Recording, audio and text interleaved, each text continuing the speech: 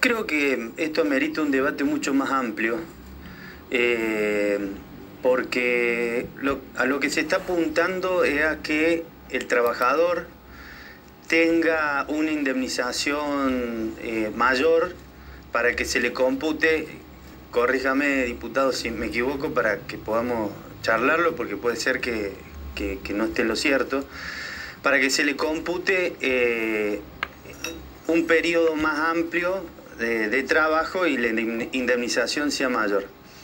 Ahora yo digo, estaría bueno un debate porque ¿qué es lo que puede pasar? Que el empleador, en víspera a que se le va a computar un año más, lo despida antes. Entonces estamos este, poniéndole obstáculo al empleador y al trabajador en su vínculo laboral. No creo que lo beneficie y le demos esa le demos un poquito más de indemnización al trabajador. Creo que el intervencionismo no ha llevado hacia donde estamos, que tenemos más trabajadores en negro que en blanco.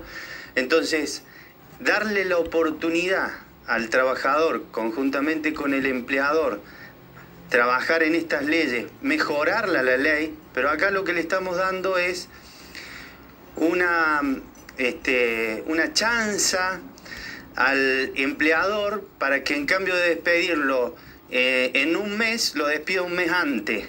Y de esa forma no llegue al, a la indemnización pretendida eh, por el empleador, el, trabajador.